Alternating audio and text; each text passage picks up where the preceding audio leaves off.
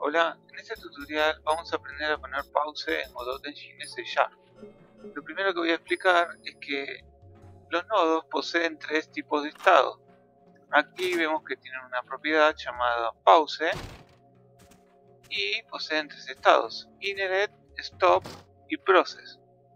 Si venimos a la documentación, vemos que inherit que significa que va a procesar dependiendo del estado del padre. O sea que si el padre está activo, el hijo va a estar activo.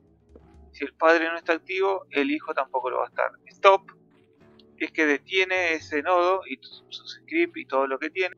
Y process es que sigue procesando ese nodo. Entonces, lo que hice acá fue crear en escena padre un script. Escena principal tiene un script.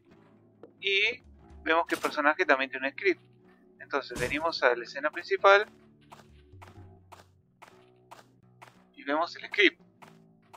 El script eh, tiene un estado que permite poner en pause y sacar la pausa. El tema más es que tengo en proyecto, proyecto setting, mapa de entrada, un botón presionado, la letra E. Cuando presiono la letra E se pone pausa y cuando la saco se, se sale la pausa. Entonces, voy a explicar el script. Lo primero que hago es crear una variable de tipo entero que va a servir como un, estado. Y acá pongo, si presionamos la letra E y creamos un switch. Lo que tiene el switch es que tiene el break. Entonces para, evitar problemas y con las condiciones que, a veces se ejecuta igual, bueno, el break termina esto por eso usamos un switch en este tutorial. Entonces, el comando principal es este.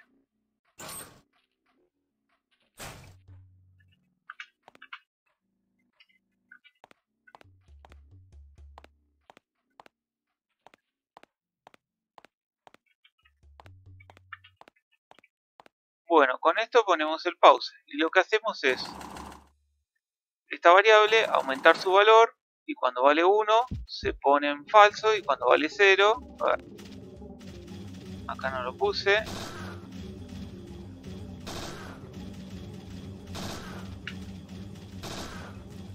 Y cuando vale 0 se sale el pause.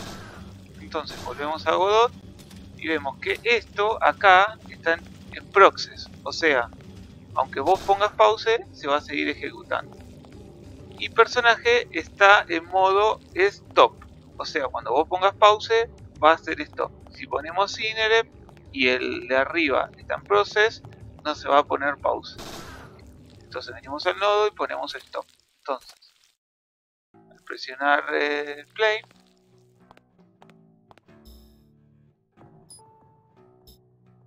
abre la ventana